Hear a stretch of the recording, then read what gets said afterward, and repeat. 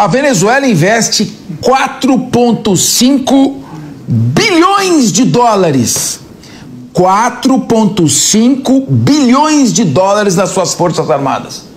Os Estados Unidos está investindo um trilhão de dólares.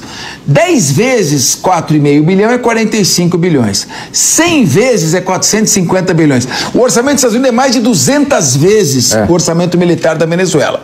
Você tem ali nos Estados Unidos 3 milhões de pessoas no serviço ativo, né? Tem, olha lá, vamos, 4.800 locais de defesa espalhados por todos os sete continentes.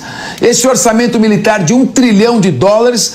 Aí você tem 1.914 14 caças interceptadores, 5.584 helicópteros, 983 helicópteros de ataque, 11 porta-aviões, 9 porta-helicópteros e, claro, 5 mil, quase 5 mil armas nucleares.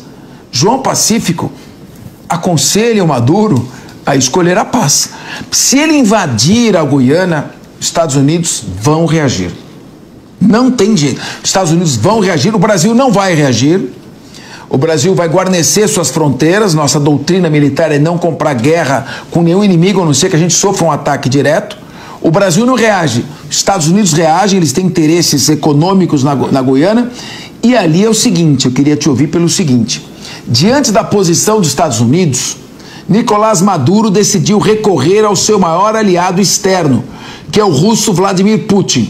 O líder venezuelano deve desembarcar em Moscou nos próximos dias, onde se encontrará com Putin para reforçar o apoio mútuo das nações. Pacífico.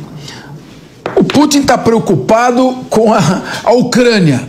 Está ainda ajudando um pouco o Irã, uma aliança militar, para enfraquecer os Estados Unidos na guerra do Oriente Médio. Se deslocar da Rússia até a América do Sul, no quintal americano, para fazer guerra, eu acho que não está nos planos do Putin.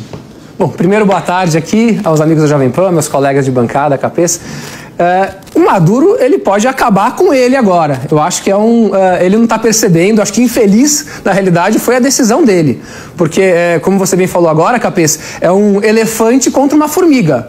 A chance da Venezuela contra qualquer uh, país mais desenvolvido como os Estados Unidos é nenhuma. Apesar de eu ser crítico em relação ao imperialismo norte-americano, aos Estados Unidos querer ser juiz do mundo, nesse caso eu não tenho dúvidas uh, que Venezuela está tá, tá, o Maduro na realidade ele está abusando contra a própria segurança dele, dele e da Venezuela. Vai dar ruim se ele continuar insistindo. Eu acho que é uma tremenda burrice ele querer comprar essa guerra, sinceramente.